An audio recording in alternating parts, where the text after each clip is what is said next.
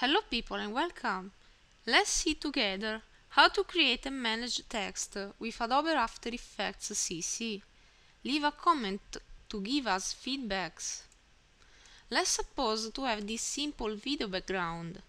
In case you have to do with complex projects, with compositions one inside another, firstly choose the one that has to contain text. This will be added inside the comp shown by the timeline at the moment.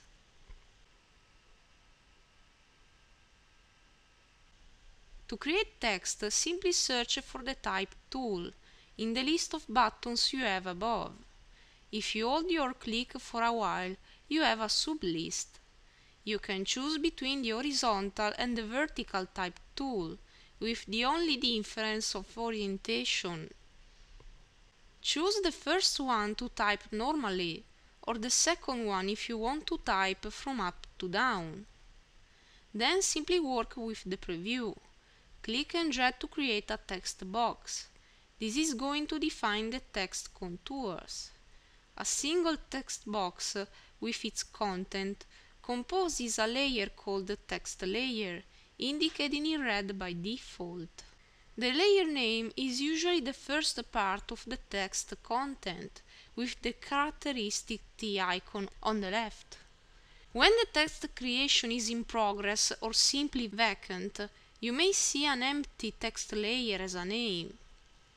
When the box is created, simply type in. Make sure to have the box large enough, or the content won't be shown fully. When you will render your video, just the text content is shown up. The text box is made just to locate the text easier. You can use the text box to manage it fast. If you hold the control down, your pointer will become a black arrow, indicating a selection tool. So click and drag the text box to move it. This will move the content related as well. You can create more text boxes on the same comp of course. Simply select a different layer from the timeline and create another text box before typing in. You can come back editing text simply clicking on the text box interested with the type tool enabled. Your pointer will be an uppercase I icon in this case. The text inside can be fully personalized using the Character window. If you don't find it, you can open it, go into Window and then to Character. Select first the text interested and then change font, scale, aspect and even length and width for each letter. You can add stroke too, setting the pixels next to the stripes icon. The two squares on the right are used to rule the colors. The left square is the fill color, and it is added on the full text. The right one is the stroke color. Just click on them to choose the color. You can set transparency to filling and stroke too. Select the square related to the filling or the stroke, and then click on the small square with a red diagonal. The square means no color, so invisible. There is also the paragraph window. However, this is very useful in case you use a large text content only. As said before, a text box is indeed an independent text layer in the timeline. It behaves just like image clips that have visible parts and no sound so you can hide, lock it, move and stretch it across the timeline. You can add effects and keyframes through the transform section and so on. To delete text fast, simply select it and cut it pressing Ctrl and X. However, you have some effects that are available just for the text. Apart from the transform section, you have inside text source text. Setting keyframes, you can change the content inside the text layer in time, for example to make captions on a video. To get help with effects, watch the related video in this show. Next to animate, you have a sort of play button.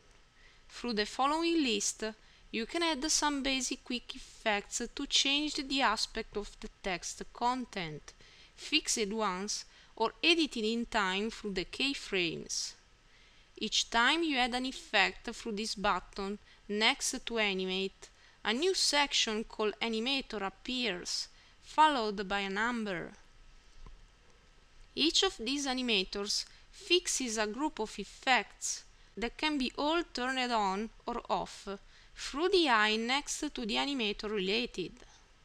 All effects inside the same animator will obey to the range selector set for that animator. They will have its same characteristic number. The range selector is used to apply all effects inside the related animator just on parts of the text content, in a way totally customizable.